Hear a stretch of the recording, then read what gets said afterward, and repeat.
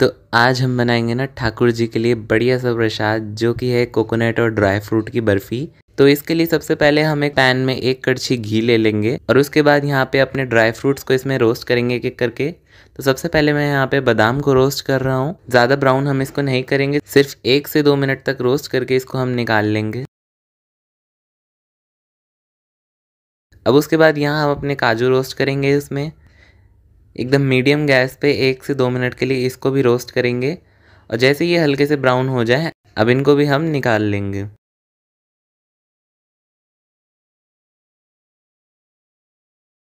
फिर इसके बाद हम यहाँ थोड़े से मखाने लेंगे और उनको भी अच्छे से एक बार रोस्ट कर लेंगे। इनको भी एक से दो मिनट तक रोस्ट करके हल्का सा गोल्डन ब्राउन कर लेंगे और फिर इसको भी हम निकाल लेंगे एक प्लेट में।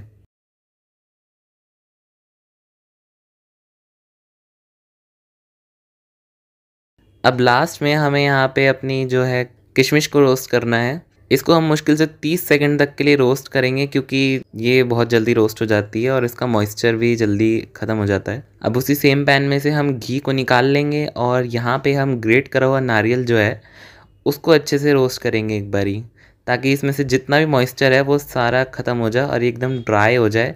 तो इसको भी हम दो से तीन मिनट या तीन से चार मिनट तक अच्छे से गोल्डन ब्राउन कर लेंगे। अब जो ड्राई फ्रूट्स हमने रोस्ट करे थे, उन, उनको हम मिक्सी में अच्छे से ग्राइंड कर लेंगे। और इनको हमें एकदम दरदरा पीसना है, इस तरह एकदम बारीक नहीं पीसना। अब इसके बाद यहाँ पे हम एक तार की जो है चाशनी बनाएँगे। तो उसके लिए सबसे पहले एक या डेढ़ कटोरी हमें यहाँ पे चीनी लेनी है और उसमें डालेंगे थोड़ा सा पानी।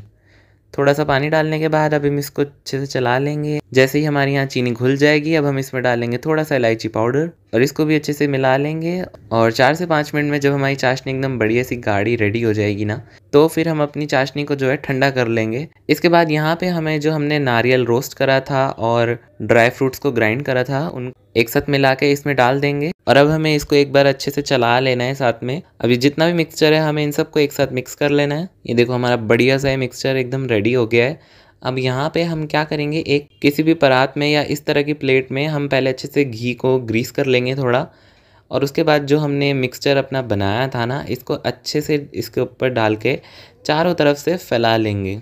अच्छे से कोने कोने तक हम एक स्पैचुले की हेल्प से इसको फैलाएँगे।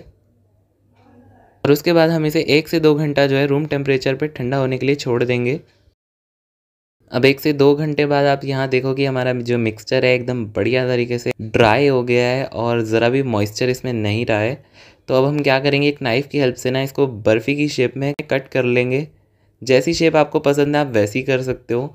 मैं यहाँ पे नॉर्मल स्क्वायर वाली बर्फ़ी की शेप में काट रहा हूँ। आप चाहे तो इसको डायमंड शेप वाली बर्फ़ी की शेप में भी काट सकते हो। और बस बढ़िया सी हमारी ये जो कोकोनट ड्राई फ्रूट वाली बर्फ़ी है ना वो एकदम रेडी है। आप देखो कितनी बढ़िया बनी है ये। मैं एक और निकाल के आपको दिखा देता हूँ और इसको तोड़ के भी आपको दिखा देता हूँ कि अंदर से कितनी बढ़िया बनी है। तो अब अगर आपको वीडियो अच्छी लगी तो लाइक कर देना और चैनल को सब्सक्राइब करना एंड हैप्पी जन्माष्टमी।